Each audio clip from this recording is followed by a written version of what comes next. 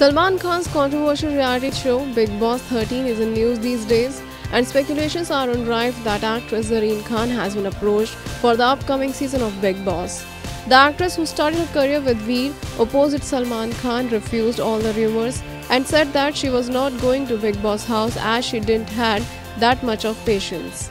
You tell me. I don't know from where that news has come. I mean, uh, मुझे journalist के calls आ रहे थे कि uh, आप बिग बॉस थर्टीन में हो no I am not and it's so funny कि आप लोगों को मेरी लाइफ के बारे में मेरे से ज़्यादा पता होता है which is not even true so no I am not going to be in Bigg Boss no no I don't think I can no I don't have that much patience हाँ वेल सलमान को of course कोई भी ना नहीं बोल सकते हैं but the thing is I can not मतलब मेरे में इतना पेशेंस नहीं है कि मैं वहाँ पे जाके क्योंकि I am sure that house test your patience and I I do not want to get it tested right now This year, the location of the Big Boss house will be changed from Lonavala to Mumbai. It will be shot in Film City, Goregaon, and will be hosted by superstar Salman Khan.